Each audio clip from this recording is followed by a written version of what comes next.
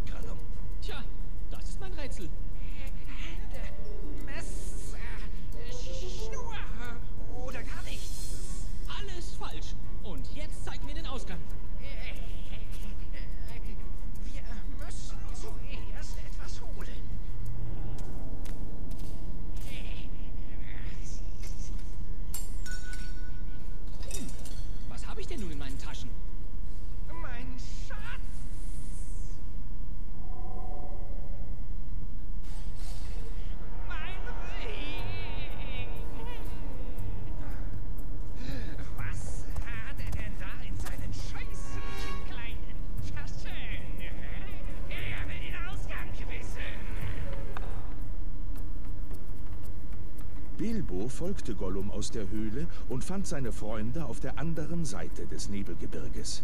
Aber sie waren noch nicht außer Gefahr. Ein Rudel wilder Warge griff an.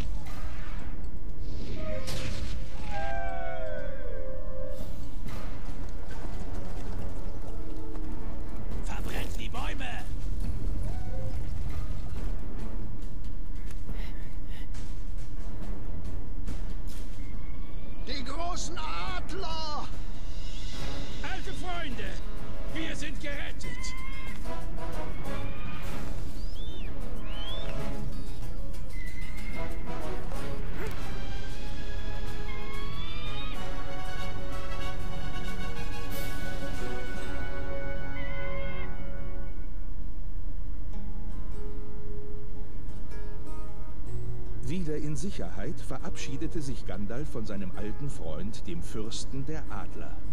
Am Rand des Düsterwaldes kündigte Gandalf seinen erneuten Abschied an. Er zeigte ihnen einen Weg durch den Wald und befahl ihnen, diesen keinesfalls zu verlassen. Bald gingen ihnen die Vorräte aus. Eines Tages entdeckten die hungrigen Zwerge feiernde Elben im Wald und sie verließen den Weg. Die Waldelben verschwanden. Bilbo fand sich allein und verirrt wieder. Hallo? Thorin? Oh, vermaledeite Zwerge. Wie konnten sie sich nur im Düsterwald verlaufen? Egal. Ich sollte sie besser finden. Na dann. Halli, hallo YouTube. Ich melde mich mal wieder zurück. Ja, nach gut Wann war das letzte Video? Am 19.01. ungefähr. Ja, also nach ein paar Monaten melde ich mich mal wieder zurück. Ähm, mit dem Let's Play Der kleine Hobbit. Ähm, ja, diese lange Pause lag daran, ja, ein bisschen Berufsschule und Beruf an sich. Ja, und halt keine Zeit gehabt. Die Freunde noch dazu und alles Mögliche und Kennt man ja bestimmt selber so aus dem Privaten. Ähm, warum ich jetzt plötzlich Zeit habe, liegt daran, ich habe mir einen Muskelfaserriss zugezogen. Äh, ja, was ziemlich... Oh, aber da. Was ziemlich blöd ist, aber naja, kann man halt nicht ändern.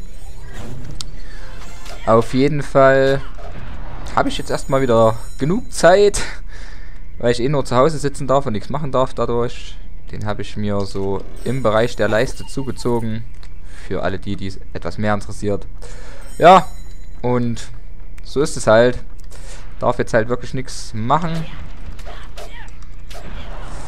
Außer da sitzen, ausruhen, kühlen. Ja, und sonst nichts.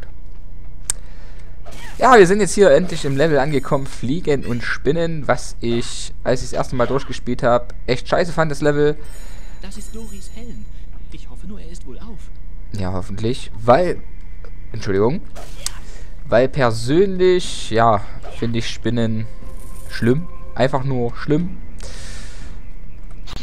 Bezeichnet mich jetzt ja nicht als Angsthase oder sowas. Nein, es ist einfach, ich weiß auch nicht, anscheinend der Ekel vor diesen Viechern.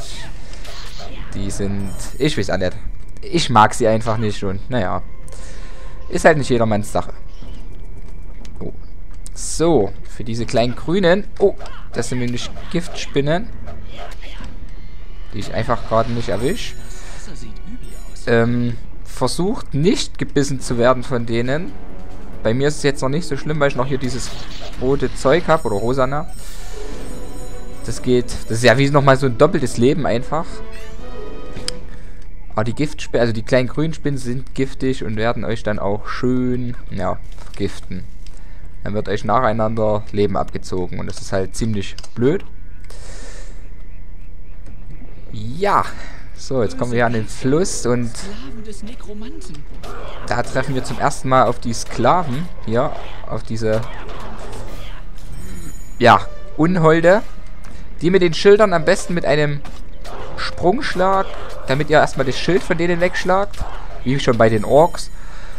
Und dann einfach nur, ja, draufprügeln. Und versuchen euch nicht von denen zu erwischen lassen. Die sind recht langsam. Also, man schafft es eigentlich. Es ist genug Zeit, die wirklich zu besiegen und so viele sind es jetzt nicht.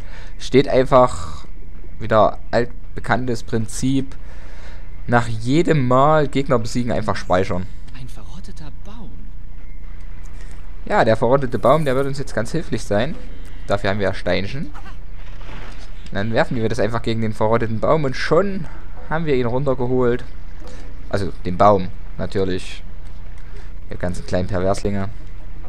So, gehen hier rüber auf die andere Seite und schon sind wir auf der anderen Seite.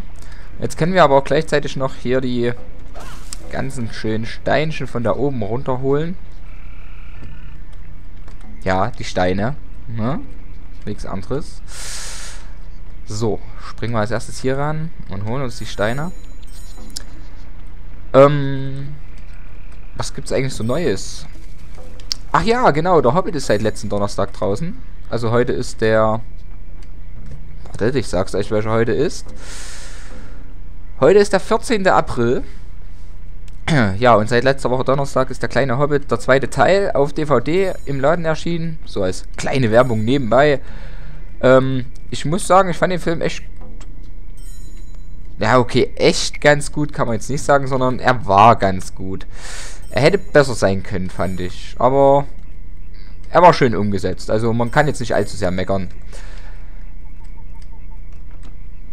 Also wer noch nicht gesehen hat, wer gesagt hat, ach nee, deswegen gehe ich jetzt nicht ins Kino, dann holt euch die DVD oder wenn ihr jemanden habt, der sich die DVD holt, leiht sie euch aus. Man kann ihn auf jeden Fall schauen, also das sollte man schon mal machen. So, hier haben wir wieder eine Schriftrolle. Expertensprungtaktik Schwert. Der Sprungangriff ist eine vernichtende Kampftaktik. Dieser Angriff fügt Feinden mehr Schaden zu als normale Schwerthiebe. Es beschädigt des Weiterhin die Schilder eurer Feinde, wodurch ihr den Kampf gehen, in den Kampf gehen könnt drückt während des Sprungs Alt links, um diesen Manöver auszuführen. Um dieses Manöver auszuführen. Ja, so sieht's aus. Ähm, ich weiß nicht, warum diese Schriftrolle erst jetzt kommt, denn dieses Org-Level, da hatten ja auch einige Orks schon ihre Schilde und ich meine, da hat man es ja auch schon gemacht. Also, wenn man das nicht weiß, ist der Tipp eigentlich jetzt recht spät, finde ich. So, jetzt hoffe ich, dass ich die Truhe öffne, ohne zu sterben.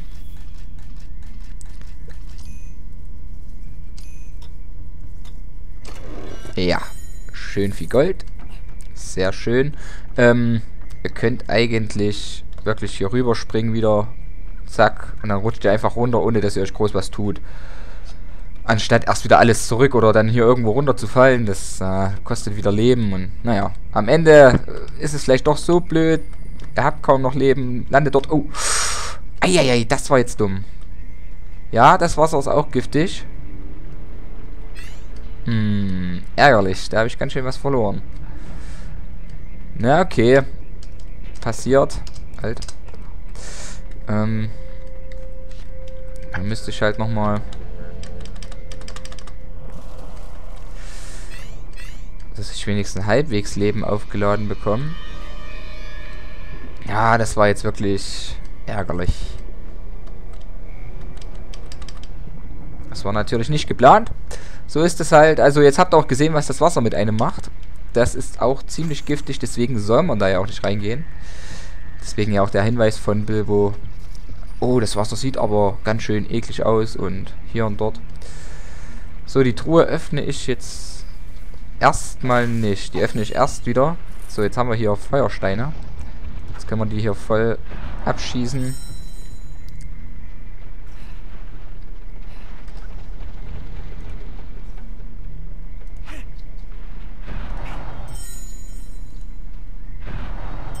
So, dürften wir eigentlich alle getroffen haben, oder? Nein, da ist natürlich noch eine... Ja gut, ging. So, jetzt gehen wir nochmal zur Truhe zurück, öffnen die noch. Da oben wäre sogar noch ein Pilz, also, naja gut, wegen den zwei Leben.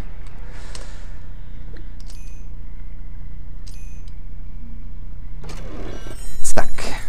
Auch geschafft. Ähm, ich hatte ja letztens eine Frage von einem, ja, Zuschauer. Fand ich ganz cool. Er hat gefragt, bei diesem einen Level, drüber hin und runter durch, wird von einem Troll erwähnt am Ende des Levels.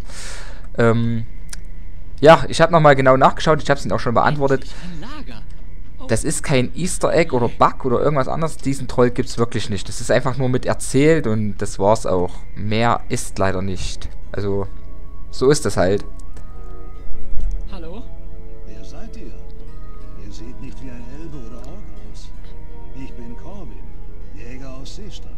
Hallo, ich bin Bilbo Beutlin, Hobbit aus dem Auenland und ich suche meine Freunde. Habt ihr 13 Zwerge hier durchkommen sehen? Nein, aber ich sah, wie Spinnen ein Dutzend zappelnder Bündel aus Spinnenseide durch dieses Netz trugen. Meine Freunde hatten weniger Glück. Die Spinnen haben alle im Lager getötet. Auch meinen Bruder. Tut mir leid für euren Bruder. Wenn ihr Öl hättet, könntet ihr diese Netze verbrennen. Ihr könntet ein bisschen aus dem Lager im Norden holen. Ein bisschen aus dem Lager im Norden, ja. Ähm, wir se Oh, um Himmels Willen, nicht ein kleiner Grabstein euch. Ähm, wie ihr seht, ihr könnt es auch nicht zerschneiden. Das Netz ist einfach zu groß. In das Feuer solltet ihr nicht unbedingt, das zieht Leben ab. Wenn ihr dann hier das Ausrufezeichen seht, könnt ihr ja mal drücken. Ihr habt zurzeit noch nichts. Das heißt, wir müssen jetzt erstmal dieses Öl besorgen. Und der einzigste Weg, der dahin führt, ist hier. Also laufen wir auch einfach mal hier lang. Und, oh, das sind aber viele. Ja, ich denke, jetzt wird der Ring ganz hilfreich sein. Auf C aktiviert ihr ihn, wenn ihr keine Steuerung verändert habt. Zack, nehmt ihr ihn. Und dann einfach ganz fix hier durchlaufen. Ja, schafft zwar somit nicht unbedingt alle... Äh, ja, alle, alle Diamanten, aber jetzt könnt ihr ja hier mal probieren, noch abzuwerfen, einfach mit Steinen.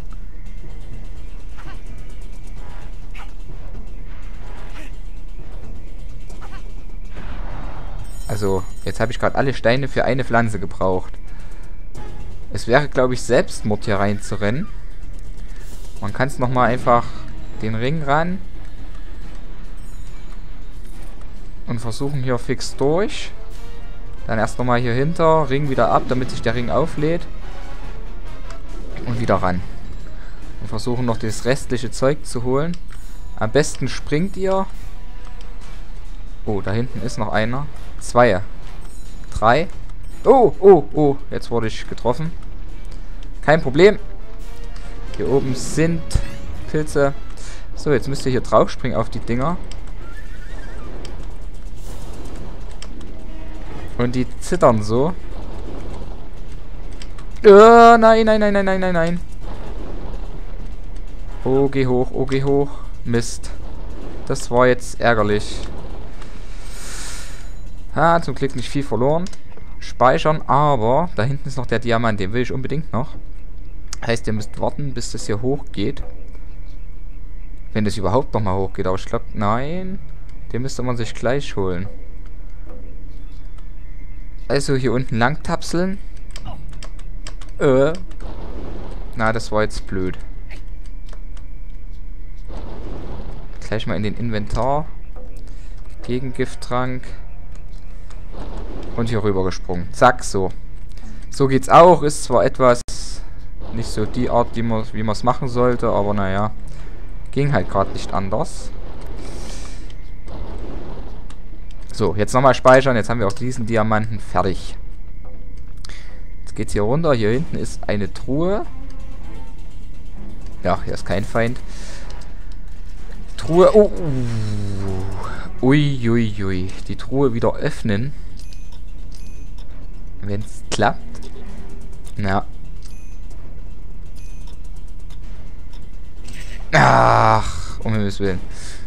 Noch einmal explodieren und ich bin tot. Juhu. No risk, no fun.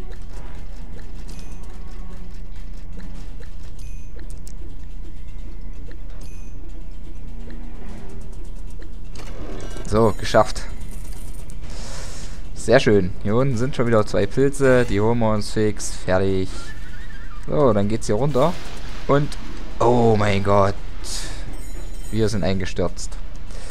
Ja. Jetzt haben wir hier einen Stein. Den müssen wir etwas wegschieben. Und dann lässt Bilbo ihn von selber los. Und in dem Moment solltet ihr auf dieses Holz springen. Denn sonst werdet ihr da unten ertrinken. Und das wollt ihr nicht. Hobbits sind halt einfach keine Schwimmer. Kann man halt nicht ändern. Da vorne ist das Seil. Da könnt ihr hochklettern. Und dann rüberspringen. Es reicht so lang. Also ihr habt die Zeit, um bis da hoch zu klettern. Um wenigstens per Sprung dann auf dieses Ding hier zu kommen.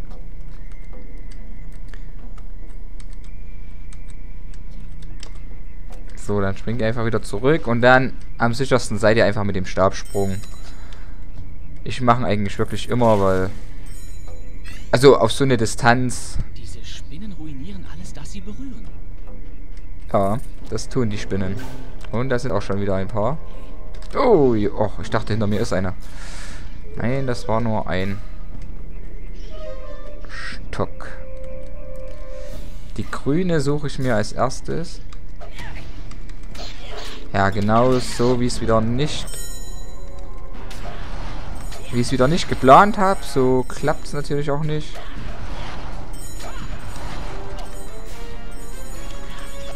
Oh, ich habe nur noch ganz wenig Leben, fällt mir gerade auf. Dann muss ich mir wirklich jetzt meinen Heiltrank nehmen. Inventar wieder schließen.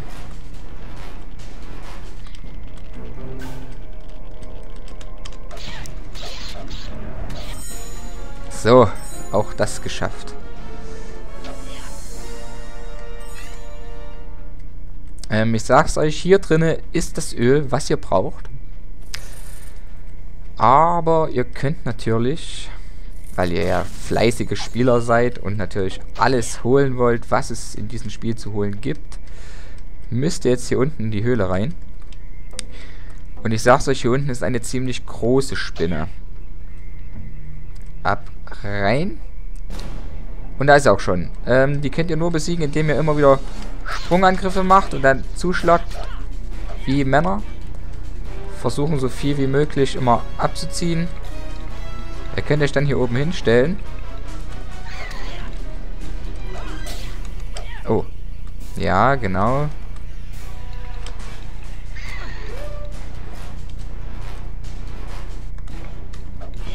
Oh, wieder vorbeigesprungen. Klasse. Ihr könnt natürlich auch einfach im Kreis rennen. Ähm, mit den Steinen habe ich noch gar nicht probiert. Kann ich jetzt gleich mal. Jetzt habe ich ja ein paar. Zieht nicht sehr viel Leben ab, so wie es ausscheint. Ausschaut. Nicht ausscheint.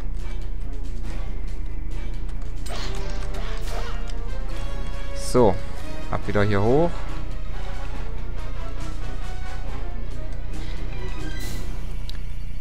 Sprungangriff ist schon wieder aufgeladen. Lädt sich eigentlich auch recht fix auf. Oh. Oh, das wäre jetzt fast schief gegangen.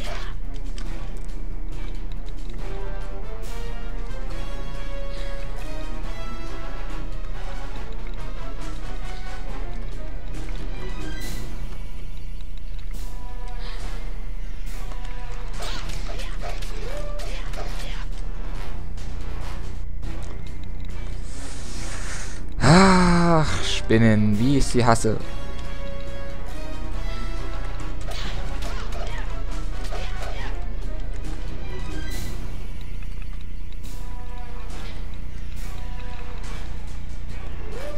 So, jetzt dürfte eigentlich nicht mehr viel fehlen. Ja, doch noch. Also mindestens ein, könnten vielleicht sogar noch zwei werden. Dann dauert es aber echt extrem lang. Ja doch, es muss doch noch einer. Kaum zu glauben. Oh, noch einer. Nee, doch nicht. Ich dachte schon. Gut, die Spinne auch besiegt. Dann nehme man den Stein und schiebt ihn los.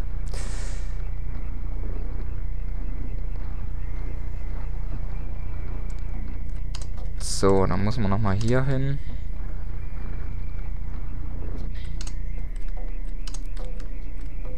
Dürfte eigentlich schon reichen. Zack. Und dann kommt ihr hier hoch. Genau. Und dann geht's hier lang erstmal.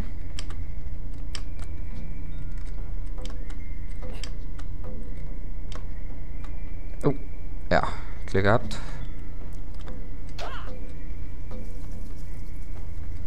So, und da habt ihr hier einen Ring. Das muss jemand verloren haben. Der plötzlich mega riesig ist.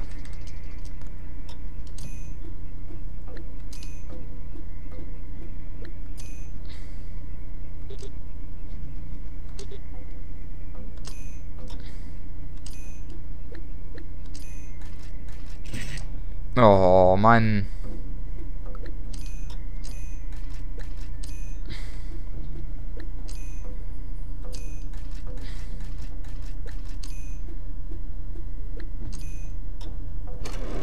Heiliger. So, erstmal wieder Heiltrank nehmen. Das hat wieder ganz schön reingehauen. Ich hoffe, ich kann die auch noch öffnen, ohne zu sterben.